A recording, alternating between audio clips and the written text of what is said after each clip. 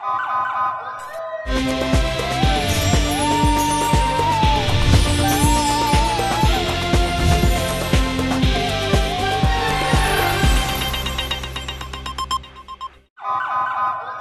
पहले नज़र डालते हैं अब तक की बुलेटिन इलाका थल के एक और काबिल फख्र सपूत का एजाज जमट वाला जनूबी थल के बुनियाद तलब इल्म अफान अली जमन ने तालीमी मैदान में हुसन कारकर्दगी की बुनियाद पर गोल्ड मेडल हासिल कर लिया। अवामी समाजी, तालीमी, अदबी और साफती हल्कों की मुबारकबाद और नेक तमन्नाओं का इजहार। फास्ट इस्लामाबाद जैसी आला पाई की यूनिवर्सिटी से B S accounting and finance में गोल्ड मेडल मिलने पर फख्र थल अफान अली जमट को अवामी समाजी, तालीमी और दीगर हल्कों की तरफ़ से मुबारकबाद देने का सिलसिला जारी है।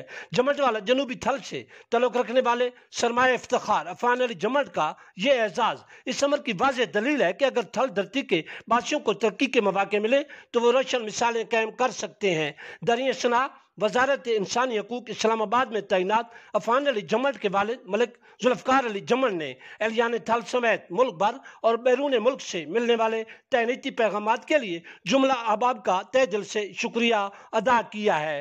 गोल्ड मेडल हासिल करने वाले काबिल फ़ख्र सपूत अफान अली जमन ने अपनी पे दर पे शानदार कामयाबियों को अल्लाह ताला का खसूसी फजल करम, अपने वालदेन की दुआओं और इस की मेहनत शाखा का मरून मिनत करार दिया है। उन्होंने इस अज़म का इजहार किया है कि इन मजीद शानदार कामयाबियों से हम किनार होकर इलाका थल का नाम रोशन करूँगा।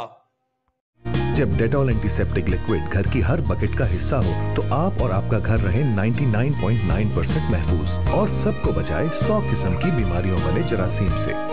डेटॉल के रोज़ाना इस्तेमाल से मेरे अपने महफूज रहेंगे